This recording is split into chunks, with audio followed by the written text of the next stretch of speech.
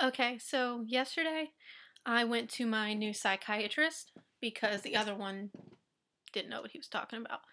Um, and uh, he took me off three of my medications. He took me off the olanzapine, which is an antipsychotic. He took off he took me off Lamictal because it wasn't working. It was used for the wrong reason.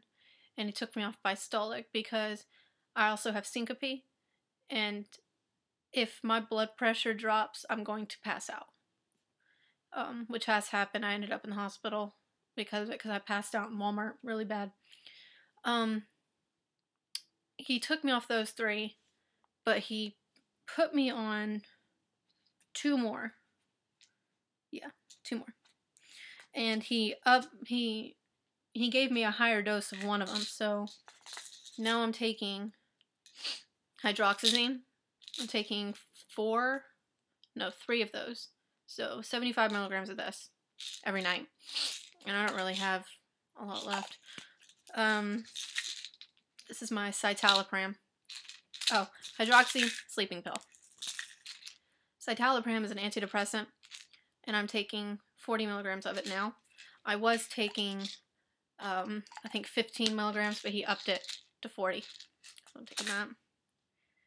Then I'm taking, hold on, I don't even know what these are. Oh, Klonopin. taking Klonopin now. I'm taking 0.5 milligrams. Um, these are actually, they're very pink, pink pills, so I'm taking that. And the last one is, uh, it's called, I'm going to screw this up, it's called Ziprasidone. 80 milligrams. It looks like this. That's an, a new antipsychotic.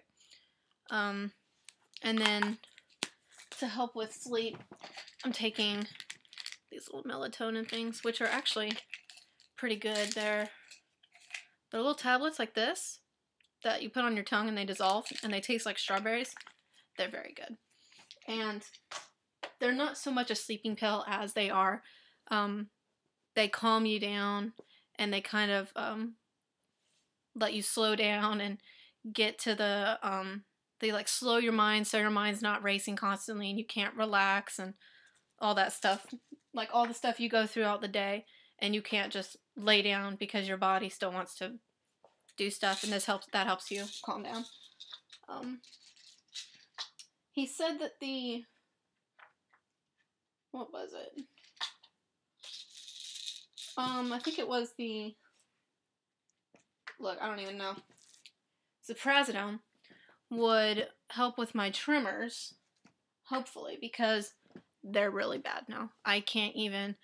I tried to put on eyeliner and I got it now, but like even if I try, it's like you see my head shakes. Um, I have a lot of trouble putting my contacts in or out. Um, I can't uh, write my name without shaking. I was actually in class today and we had a lab in biology and we were putting together a double helix of a DNA strand using like beads. And I was trying to pop it in place and my hands were shaking and the guy was like, "Why are your hands so shaking bad?" And it's kind of embarrassing, um, especially when I get piercings, like my nose and my industrial and all that, and my tongue. When I get them pierced, when they pierced it, my head would start shaking and I can't hold it still. And like with this one, when he he pierced it with a hoop, he actually had to hold my head, like physically hold my hand to clamp it on, because my head wouldn't stay still. And it's it gets very embarrassing after a while because people think you're just you know have no tolerance for pain or anything. Which I mean I do. I've got like 17 piercings and getting my seventh tattoo tomorrow. So or sixth. I don't know. I think yeah, it's six because this my whole arm is my fifth. And so, um, so yeah, my tremors are, they're, they're pretty bad. Um, that's why I was put on the Bystolic, but because of the Bystolic, it dropped my blood pressure. And when I passed out, ended up in the hospital, my blood pressure was below 70. And when I went back, they actually said that I shouldn't be alive. They said my I told them my blood pressure was below 70 and they looked at me and they were like, "How are you still here? How are you still alive?" So, thank you God, I am still here. Um so yeah. He was going to put me on Abilify, which if you guys don't know, you take that with an antidepressant and it helps even more. Um the Ziprasidone yeah, Ziprasidone also helps with hearing voices. Oh, it just just says take with food. I just noticed that. I didn't take it with food last night. Um, yeah, it helps with hearing things and seeing things and stuff like that. Okay. And um, so yeah, that helps a lot. Well, I it, I hope it will. I've only taken it once. I just started all this yes last night. Um, so now I'm up to six pills a night, which is a lot better than the eight. Um, oh, he also he was talking to me and he said that um, from his point of view, it looks like I have manic depressive disorder, which some of you don't know.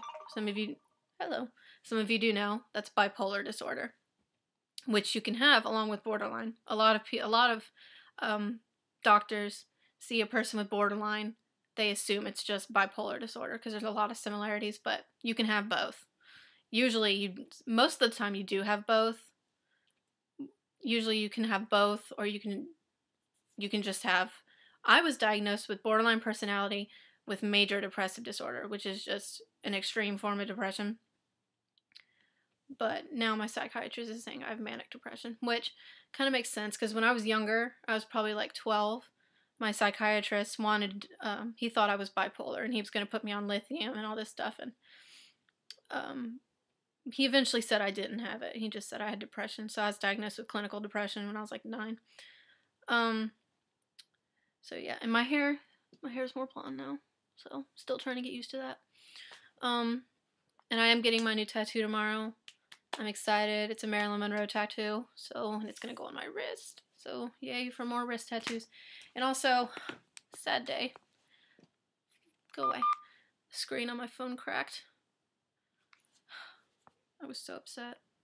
It hit the ground like this. Even with the case it broke. Anyways, okay, I'm done rambling.